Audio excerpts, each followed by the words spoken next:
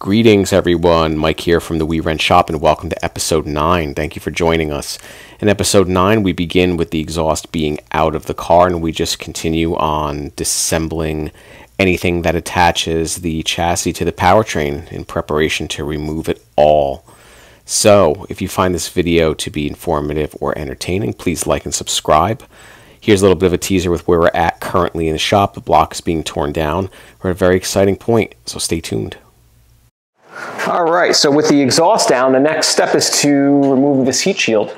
A bunch of 13 millimeter bolts and then these 10 millimeter speed nuts. Sorry, 8 millimeter. Sorry, 9 millimeter. Wow, I must be going crazy. Why is that happening? It is 10. Crazy, crazy, crazy.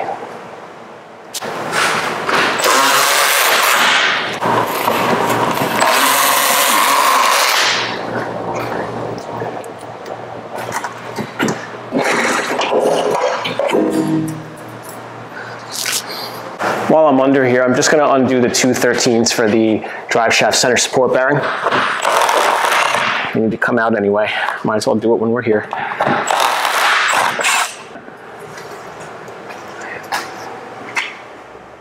So with the undercarriage and with the exhaust down, I wanna give everybody at home a really nice look of what it looks like under here in case you have to do some type of repair.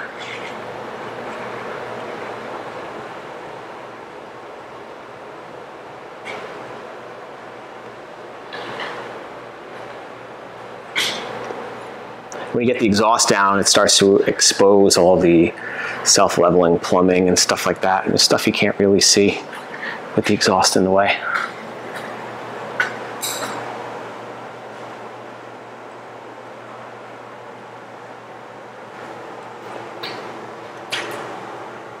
Drive shaft, trans tunnel.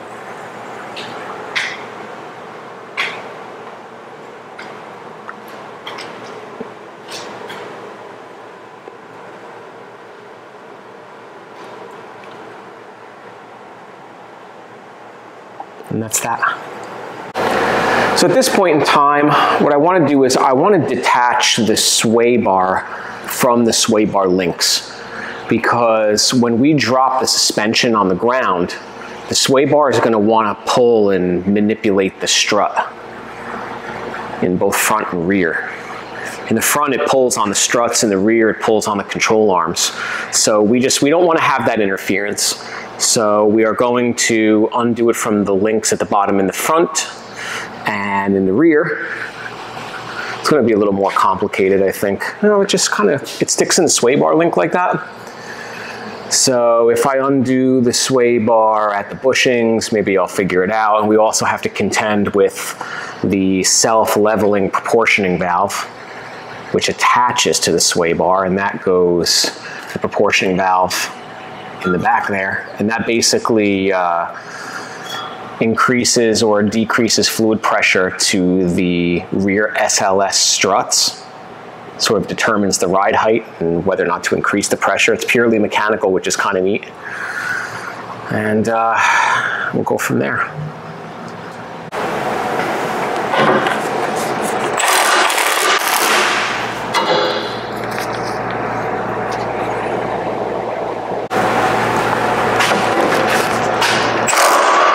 This is a 17 millimeter, by the way.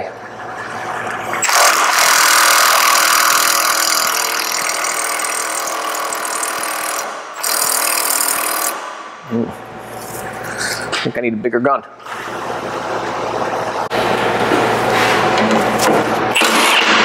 Here we go. Now what ends up happening is that this nut spins because the ball joint inside of the joint is spinning.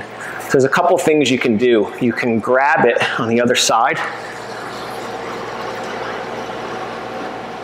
with a set of pliers. You have to counter hold it some way, but if you put a lot of downward pressure, you might get lucky. No, I'm unlucky. When it starts to fight you, you can put a wrench on the other side of this to kind of counter hold. This is a 16 millimeter.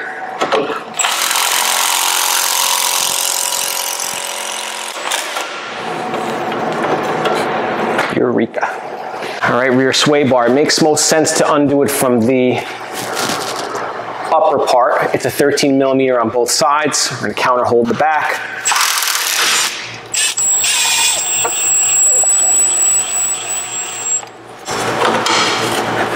See, there was some tension on that, and that's exactly the tension that I wanted to relieve.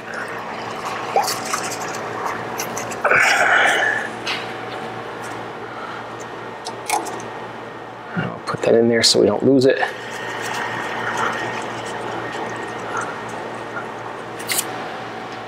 Other side, same thing.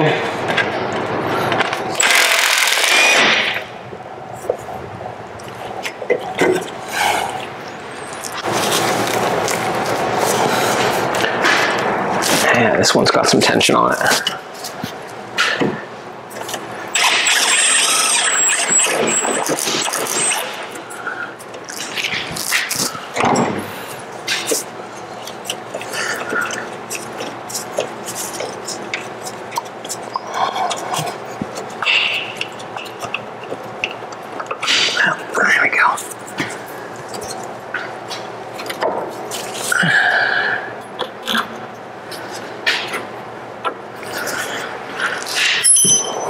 So the next thing that we're going to tangle with is this uh, SLS proportioning valve. It's got a rod that attaches to the sway bar here, and like I said before, that's what regulates pressure to the rear SLS shocks. Now what I want to do is I want to detach this rod right there because that rod goes to the chassis. So you can get up there, sorry about that, you get up there with your trim tool. Sorry. Having trouble doing two things at once here. okay, so I popped it off inevitably. This is the SLS proportioning valve. That rod attaches to the sway bar. And what I did was I went up in there and I unhooked it with a trim tool. See how that rod is dangling? That rod is attached right here. So that's how that's done. This is the SLS level sensor. This will tell the cluster that the vehicle is too high or too low. It gives you that SLS uh, error message.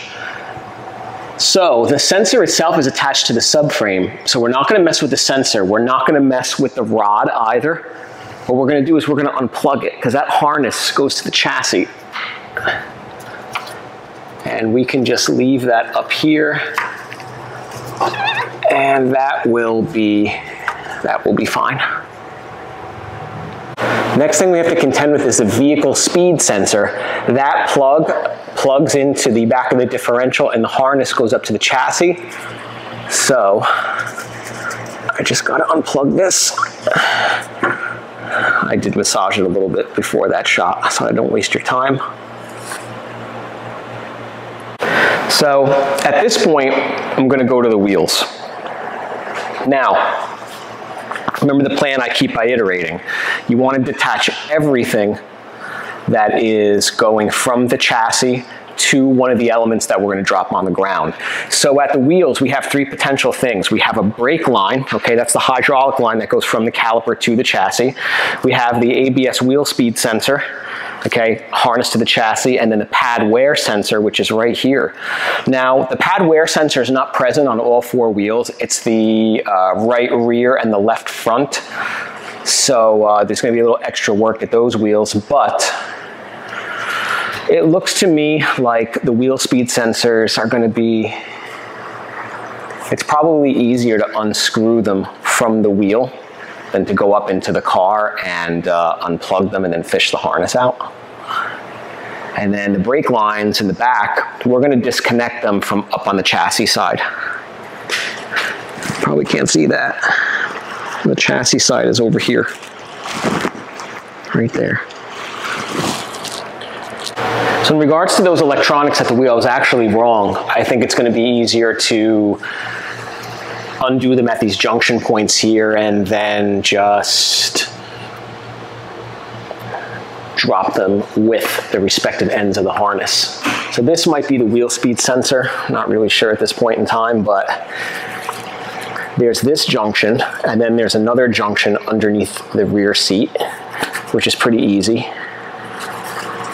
See how we're gonna do this? This is gonna, this side is gonna stay, this side is gonna stay with the car, and the other side is going to come down with the suspension. To undo the brake lines in the rear, the best way to do it is to undo at this junction. At this junction, this side goes to the wheel and this side goes up to the chassis. So on this, it's an 11 millimeter flare nut. Well, it's not a flare nut. Well, I guess it kind of is. You're using an 11 millimeter flare nut wrench to break it loose. And I'm really grateful that I just had these loose a little while ago because uh, these will fight you. They'll fight you bad.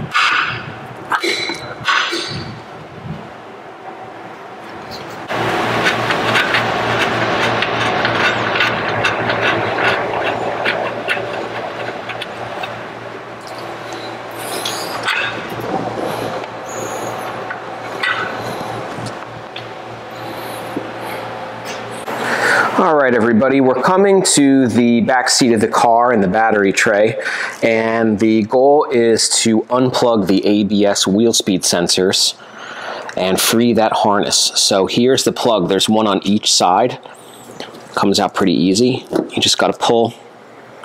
That's what the plug looks like. And we want to push this grommet